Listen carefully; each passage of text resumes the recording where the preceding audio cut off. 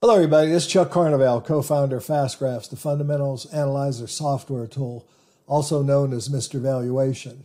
It's my pleasure to welcome you once again to another subscriber request Tuesday series that I've been doing for some time now. One of the areas, or, or, or, there's a certain section of companies that subscribers, many subscribers, have asked me to cover. So I'm going to try to kill a lot of birds with, so to speak, one stone here today.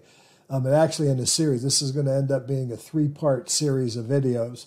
Today, I'm going to be looking at the Dow Jones Industrial Average, which is, you know, as most of you know, has all long been considered a proxy for the stock market that contains 30 stocks. Now, the Dow's a very interesting index, as I'll get into a little bit more detail as I go through the video. You know, there are only 30 stocks, so it's a nice, concise index. In contrast to something like the S&P 500, where you have over 500 stocks. So the Dow is a nice, neat little tidy package that you can look at, and it can be very useful. And I'm going to kind of illustrate that throughout this series here. That you know you can really look at relative valuation of the overall market as well as sectors by dissecting the Dow. And I'm going to be doing that. In this first part, I'm going to be looking at 10 stocks that I'm going to call fairly valued or reasonably valued Dows. Out of the 30 Dow, I'm going to repeat that, there are only 10 that I consider reasonably valued. But I'm also going to take the opportunity with this series of videos to illustrate several other things. For one thing, it's a market of stocks, not a stock market. You've heard me say that so many times if you followed my work. So I want you to see just how diverse all the 30 stocks in the Dow Jones actually are. They're all quite unique and quite different in their own right, which is why I always say, you know, as investors, you know, I've got a lot of people, in fact, very recently, I've had a lot of people coming to me saying, you know, I'm really concerned the market's so high. And, you know, I've been talking about how high the market's been for quite time now. A lot of other pundits to the likes of Warren Buffett and Peter Lynch and many others are talking about how overvalued the market is right now. And again, we're using the Dow Jones as a proxy for the market. But the reality of it is, you know, people are saying to me things like, well, if the market's so high, there's nothing to invest in. Well, in every market, whether it's a bull market or a bear market, there are always investable stocks to be found. Obviously, you could find a lot more in a bear market than you can in a bull market, and vice versa, I might add. But the reality of it is, it is a market of stocks, not a stock market. And stocks are very, very different. So, this idea of thinking in generalities, I think, is actually kind of a false narrative. You want to think about the individual stocks you own. Like I say again, mind your owned businesses. Pay attention to what you own, look for value, and recognize what the valuation of the individual stocks you own are, and worry less about what the market. Now, in the short run, a, a crash may take all stocks down, but the undervalued stocks will recover quicker and move more back into alignment with fair value because they were already attractively valued and therefore lowered your risk. And I'll kind of get into that in a little more detail as I go through the video.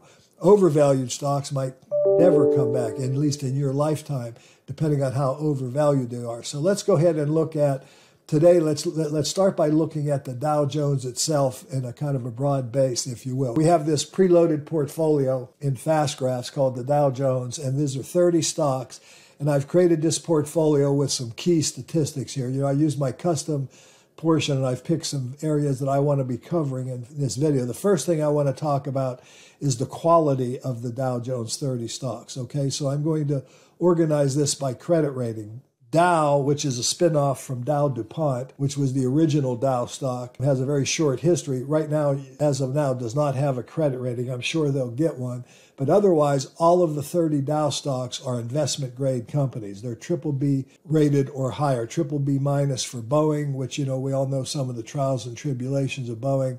We've got the B plus stocks, you know, going all the way through Disney here. We've got several A minus rated stocks, you know, JP Morgan, Amgen, et cetera. We've got A rated stocks in Travelers, Caterpillar, Home Depot through Honeywell International. Then we have A plus rated stocks like Intel, Merck, 3M, United Healthcare Group, Coca Cola, Salesforce.com. And then we got double A minus in Cisco, double A minus in Procter and Gamble and Chevron. Visa and Nike are also double A minus. And then we have double A Walmart, AA plus Apple, and then the two AAA rated stocks on the planet, Johnson and Johnson and Microsoft. Of the 11 broad sectors that make up the overall market, nine are covered in the Dow Jones. We have two communication services companies, we have three consumer discretionary, we have four consumer staples, we have only one energy company now, and you can almost by looking at the makeup here see what the market is, you know, focused on. In financials, we have four. In healthcare, we have uh, four, and then we have several industrials, and then the broadest, largest sector we have or is information technology that comes in here with seven, and then we have one material stock, which is the Dow stock. Okay, so we're covering nine of the 11 sectors. We don't have a utility stock in the Dow today, and we, nor do we have a REIT, a real estate investment trust. But otherwise, we're covering the broad sector of the market. Next, I want to look at valuation lowest to highest. The 10 stocks I'm going to cover today are going to start with Goldman Sachs. I'm ignoring Boeing because Boeing's got some problems. I'll be covering that in part two of the series. But regardless, I'm looking at the ones that have earnings yields above 6.7%, if you will, or below a PE ratio of 15. So that would be Goldman Sachs, Walgreens, Intel, Verizon, Dow, JP Morgan, Travelers, Merck, IBM, and Amgen. Okay and those are the only 10 stocks or nine stocks really in the uh, or 10 I guess it is in the in the Dow Jones that I consider viable from a valuation point of view. They all have different estimated growth rates as well, which is something because it's a function of value and growth, future growth, that gives you the long term rate of return that you expect, okay, from stocks. Now, the average yield on the Dow Jones is about 2.3 to 5%, somewhere in that category. It's a little bit higher than the market, but the, the dividend yields range from nothing, companies like Boeing and Salesforce, and currently, for at least temporarily, Disney have no dividend yield and then you have the highest yielding stocks like Chevron, IBM, Dow, Verizon, et cetera, that are yielding 4% or more. But you're looking at an average yield here. Now, the Dow's makeup has changed a little bit over the years. For example, in 2015, in March of 2015, Apple replaced AT&T, which was a you know stalwart of the Dow for, for decades in 2017, as I mentioned earlier, Dow DuPont replaced DuPont. It was formed by the merger of Dow Chemical with DuPont. And then in 2018, Walgreens Boots Alliance replaced General Electric, which ran into some hard times, which was a component of the Dow actually since 1907. In April of 2019, Dow replaced Dow DuPont, which was a spinoff of Dow DuPont, which again was a merger of Dow Chemical Company and DuPont. And then on August 31st, very recently, 2020, ExxonMobil, Pfizer, and Raytheon were replaced by Salesforce, Amgen, and Honeywell. So, you know, since, you know, the last several years, there have been some significant changes in the Dow. But with that said, the Dow has, you know, been the stalwart market Dow indice, if you will. The Dow Jones Industrial Average is often referred to as the market as well as the S&P 500. Okay, so I'm going to go through these these very quickly with you and look at them. I've created this list of Dow value stocks that I'm calling it. And these are the 10 stocks that I mentioned a minute ago. And I'm going to go through them one at a time with you and allow you to look at, you know, the different valuations and how, you know, really diverse these 10 companies are. But I also, but to, before I do that, I'm going to go to the new version of FastGraphs real quickly. I'm going to go through these same 10 stocks very, very quickly. I, what I'm doing here with this next section is just to, I want you to see how different the earnings line, you know, the operating earnings. Here you've got Goldman Sachs that has very, very cyclical earnings. If I go to Walgreens Boots Alliance, you're going to see a company that has a pretty good long term record of growth, a little interruption you know, during COVID, the COVID recession, and then of course earnings growth is expected to go to increase again. You see periods of very high valuation, but this is a materially different looking stock than what we looked at just a second ago. When I go into Intel, you're going to see that Intel has a again a much different record. It's kind of similar in cyclicality. It has you know fits and starts of earnings, but in the long run, I also want you to notice with all these examples the stock price eventually aligns itself with the intrinsic value, which is the orange line on the graph. So these are very, very different types of companies we're looking at. Verizon is a almost the closest thing we have to a utility, if you will. It's got very, very low earnings growth for many, many years. More recently, growth has accelerated a little. If I shorten this time frame, you can see that growth um, over the last, well, you know, we'll go back since maybe 2014 has averaged about 6%. The long term growth rate, though, has been 3% for these low years. So, again, you get to see that. Then here's Dow, which was just recently spun off, so we have very little history. But it started out with some pretty weak, you know, two weak years in a row. They've had a nice, strong recovery in 2021. Of course, this was COVID, which was obviously a horrible time for them to be spun off. But analysts are still expecting relatively spotty, even negative growth going forward. JP Morgan has been a reasonably consistent, what I would call quasi cyclical company with kind of a spotty dividend record as well. And then Travelers has been a very cyclical stock, but again, you see that the price kind of goes where earnings goes. It has a pretty decent record. Merck, like a lot of the big pharma, including Pfizer, kind of ran into a period of low growth. Their growth rate is starting to accelerate again for a lot of reasons, which I won't be able to get into in this discussion. IBM had a great growth record for many, many years. In the last five or six years, they've really been struggling you know, to grow their business. But the bottom line is things are beginning to look up. One thing that we'll have with this new version is a, a sales. You can see that their revenues have been very flat here in recent years when you're looking at IBM. But nevertheless, if you look at operating earnings, they just had a really good quarter. They exceeded estimates, and analysts are expecting the turnaround to start to manifest going forward. Amgen has really been a stalwart growth stock for a long time, and then they started paying their first dividend in 2011. And, you know, since that time, their dividend has increased, their payout ratios have increased, and it's been a kind of a very attractive stock. And here you see the effects of overvaluation. Again, high valuation led to very poor performance for many years. But then once it got reasonably valued, it's been a stalwart performer for the last several years. So let's go through these now, going back to the current version of fast graphs here that we're using. And let's look at these stocks with a little more detail. From a performance point of view, we have Goldman Sachs with a very cyclical record with a 10.9% annualized earnings growth rate.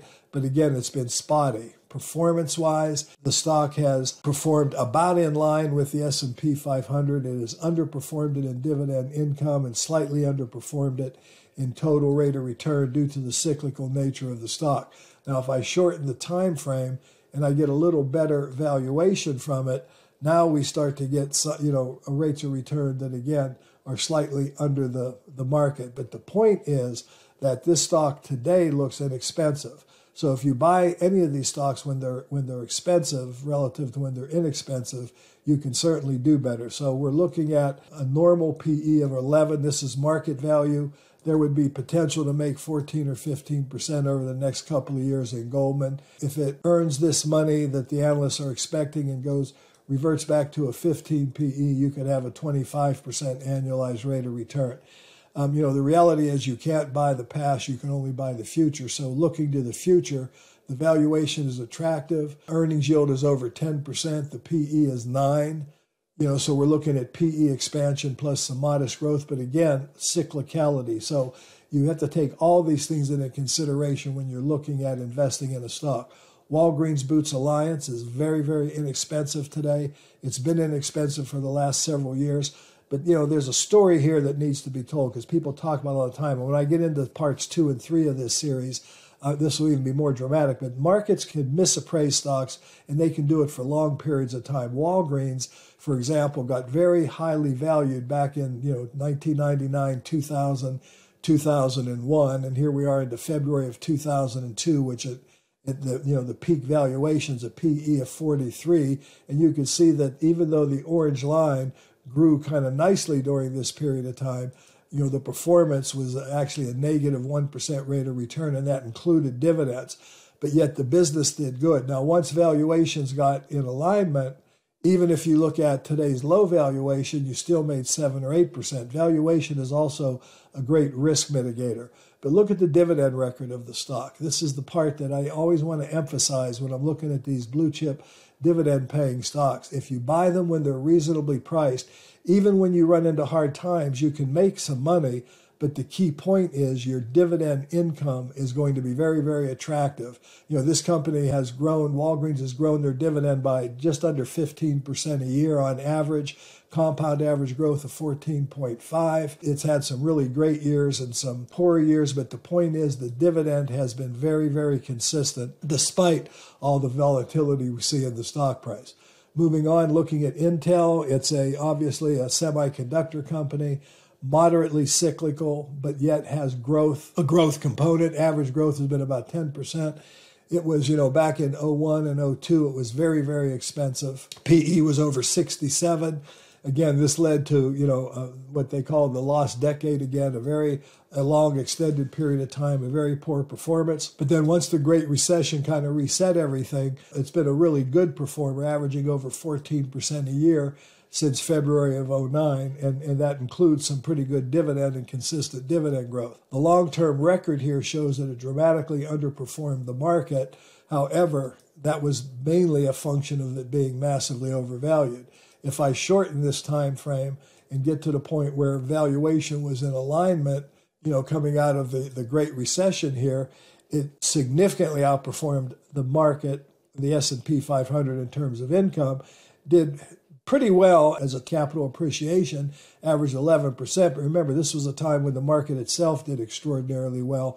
But it came out as a great investment. But the key thing here is it's been more of a high yield income investment or higher dividend growth investment than it's been a total return investment. Verizon, as I talked about earlier, went through a long extended period of very weak growth. You can see earnings growth, you know, going up through just coming out of the Great Recession here. Earnings growth during this time was actually a negative 3%, if you will. So, you know, this wasn't a time where the stock grew very fast. And again, I'm using the tool here to be able to determine that. But now, if I run this back through the last, you know, 14 or 15 years, we're starting to get market average, respectable 6% growth. We have a 4.5% dividend yield on Verizon. We have a PE of under uh, 11, an earnings yield of 9%, and a dividend yield of 4.5%. Now, their dividend record growth has been low as the growth of the earnings have been low, but they have slightly increased their dividend every year and they have dramatically paid more dividend income than the market. So if you know, in lieu of a bond, for example, if you're looking for a good income vehicle, Verizon's probably you know a stock that you might want to consider. From a standpoint of going forward, we're looking at very weak growth continuing, maybe three percent on average. But again, if the stock normally trades at around a 12 or 13 multiple, that would still give you the opportunity to make double digit returns going forward. If you're looking at it going to a P, you could make almost 14% over the next two or three years. So Verizon would be a good choice as a blue chip, you know, with a good strong dividend yield going forward. Dow, you know, I mentioned this before. You know, the stock came out, of probably the stock was spun off probably at the worst time. It could have been, of course, no one knew that at the time. But nevertheless, its performance has been kind of interesting. It's produced more dividend income than the market, but dramatically underperformed the market over this time frame. You know, the overall, if you're using the S&P 500 as the market but the stock is reasonably priced today. The PE is 11, earnings yield is 8.8, dividend yield is 4.5. We don't have a real long dividend record, but I do expect cyclicality out of this stock going forward and that's something you'd want to consider before you invested in it. JP Morgan Chase, one of the better, higher quality financials in the world, A minus rated, moderate debt. The stock is semi cyclical. It suffered during the financial reset that we saw in the 08 09 Great Recession. However, it actually fared better than most. It did reduce their dividend during that time frame. But since then, it's been, you know, it's been increasing their dividend at a very nice rate since they started, you know, getting back on track with their dividend. Their dividend has grown at over 30% a year. So once they kind of got healthy again, the company, you know, recommitted to their shareholders. You can see that their payout ratio, you know, increased dramatically here. They were paying out only 5% of their earnings in 2010. They increased it to over 20% in 2011. The long term performance here has also been very exceptional. They've paid more income than the market, and they've came pretty close to mirroring the market. And you know, in the end, they slightly edged it out. But we'll let's say it was a dead heat of the market with a lot more income than the market and you could have got from buying an index fund.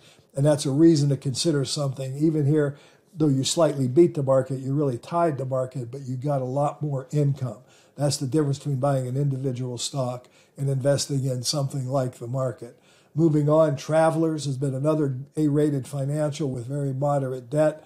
Its dividend record is not quite as good as some of the others out there, but its long term performance, you know, it did produce more dividend income, but they did have a period in 04 and 05 where they did reduce their dividend. But otherwise, the average growth has been about 6%. So the record is, of their dividend is good, not great, but you can see the price tracks earnings. It's very reasonably priced at a blended PE of 12.9, gives it an earnings yield of 7.7 and a dividend yield of 2.3%. This stock's got good potential going forward. You could make very strong double digit rates of return if it trades at a normal PE of 15.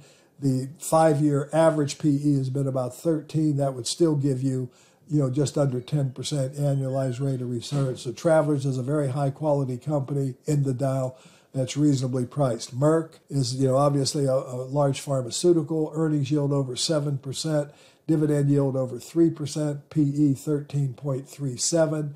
The stock has started to reaccelerate. You can see that their growth rate you know, has kind of accelerated it, flattened out, you know, for many, many years, like most pharmaceuticals did. Forecast wise, it's expected to grow at 9% going forward. That would easily give it a 15 fair value PE ratio, which means you could make, you know, 15 to 16% a year out for the next two or three years investing in A plus rated Merck. So Merck, I think, is one of the more attractive Dow stocks today. IBM is a behemoth turnaround, A minus rated you know, it's gone through, as I showed you earlier, some very weak earnings results, but the company's in transition. Their last earnings report exceeded estimates. The stock looks like it's starting to recover. Analysts are expecting double digit growth for the next two or three years. So, you know, this could be a great time to be in, taking a position in, you know, the old long term stalwart IBM. It's been a tough road for the last several years. I'm an investor here because I really like the dividend. If I look at the dividend record of the company, it's increased their dividend by over, oh, we'll call it 14% on average. It's thrown off significantly more income than the Dow. And it did give positive rate of return long term, although the rate of return in recent years, if I shorten this time frame, the rate of return has actually been the, the, the capital appreciation has actually been very, you know, modest at about 2.6% a year. But you add in dividends and it's averaged over 4%. I like IBM going forward more than I like, obviously, its history. So here's one that you might also want to consider. And then last but not least is Amgen. And Amgen is kind of the quintessential value growth story, if you will. When valuation was very, very high, like back in 02, it led to an extended period of time, several years, where you know the, the stock didn't make any money, but yet the business did great. In 2011, they started paying their first dividend as the company's growth rate was being forced to slow down. And you can see that by looking at the bottom of the graph here. They started paying a dividend. They started out with a low payout ratio, and then that payout ratio has increased nicely.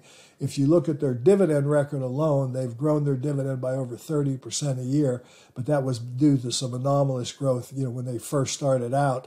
But they've still been paying, you know, double digit dividend growth for many, many years here. This company still has a lot of growth potential. It's expected to, you know, slow down to about 5% a year going forward. Longer term, it's expected to grow at 9%. So once they get past these next couple of years, we should start seeing, you know, better growth. But this number, this 5% number, I want you to make sure you understand the math. It's expected to be negative growth this year, followed by 9, 8, and 6. And that's why you see long term growth of 9 getting past that. So if I use the custom calculator here and combine the two, this gives us the potential to make, you know, a nice double digit rate of return with almost a 3% dividend yield, and earnings yield over 7%, and a PE ratio of 14.05. So these are what I would call the 10 stocks of the 30 stocks in the Dow that are reasonably attractive. In parts two and part three, I'll be covering 10 more. I'll be going from the more moderately valued stocks to the really excessively valued finally in part three, the ones that I consider to be dangerously overvalued. So stay tuned to the series. This has been Chuck Carnevale saying thanks for watching. If you like this video and my other videos, give me a like Uh, a thumbs up, ring the bell, subscribe to the channel if you haven't already. I look forward to talking to you again with the rest of this series tomorrow and the next day. Thanks for watching.